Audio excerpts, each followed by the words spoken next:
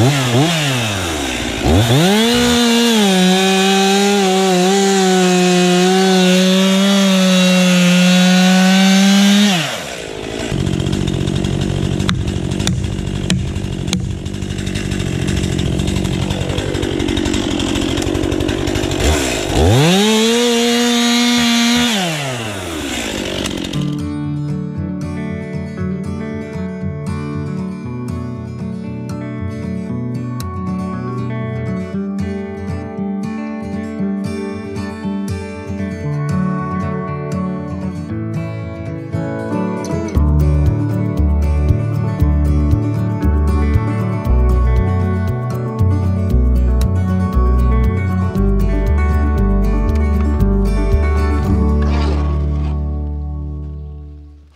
What's that?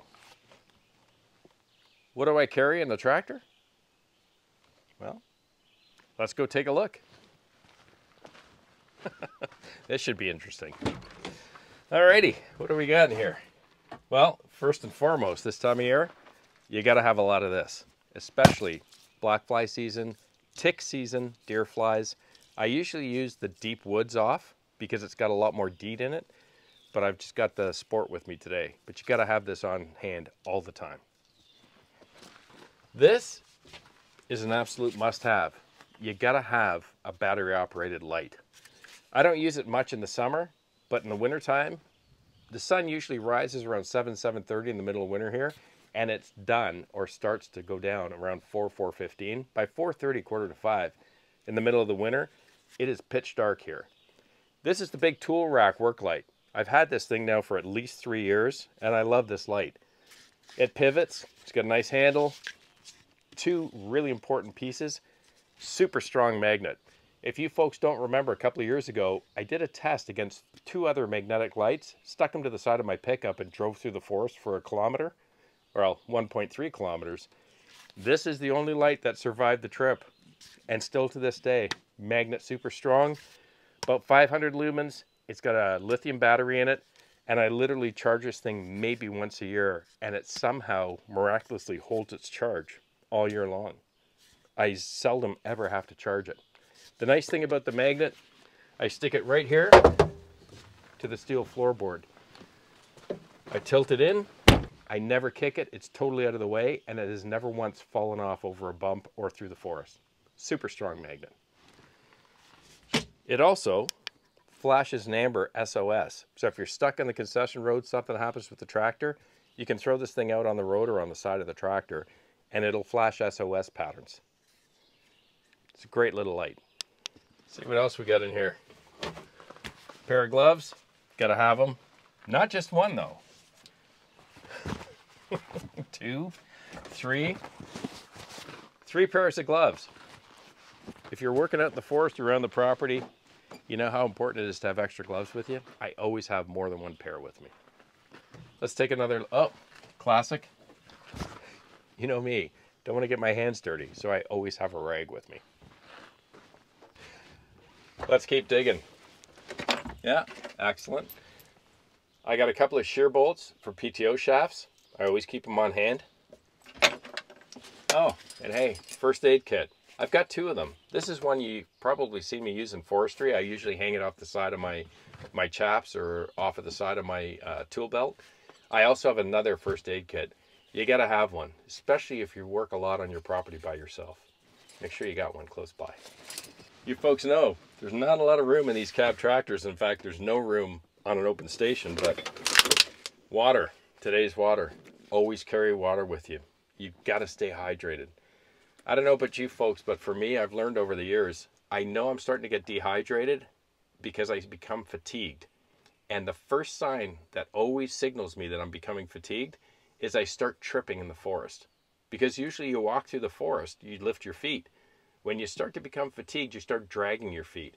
And as soon as I start tripping once or twice, or I start to catch my foot or the foot or the toe of my foot, I know I need to take a break, drink some more H2O, so always have at least a couple of bottles on hand. I either carry a D-shackle or a hook, like you see here. That goes through onto my drawbar and can also be used on other applications when you need to use chains. You just always want to keep one handy because you never know when you're going to need it. Geez, it's been a while since I looked back here. There's a lot of crap back here. Garbage. Another rag. You can never have enough rags. Oh my goodness. Boy, I gotta do some house cleaning. Tree straps.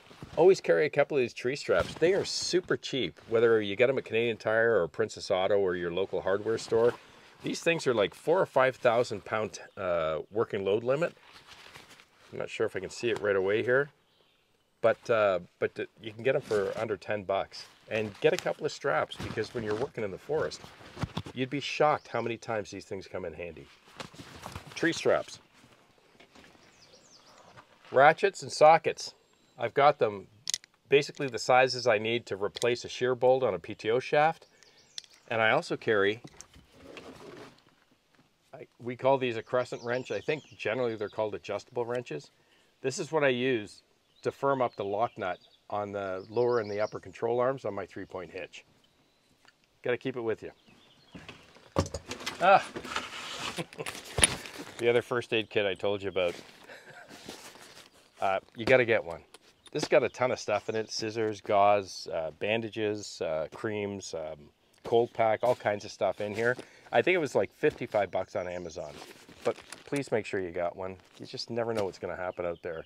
And if you're fortunate enough to hang out with your buddies like I am or your neighbors, at least they know they can look after you if you hurt yourself.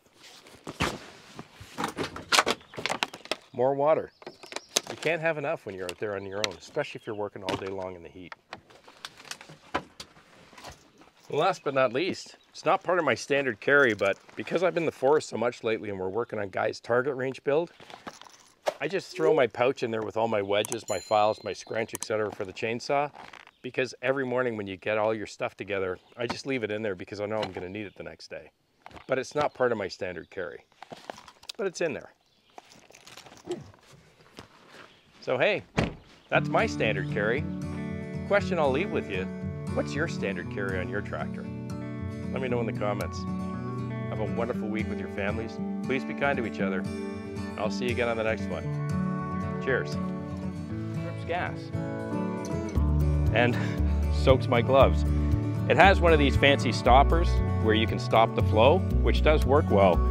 But not only when I take it out, but you'll see when I fill this chainsaw,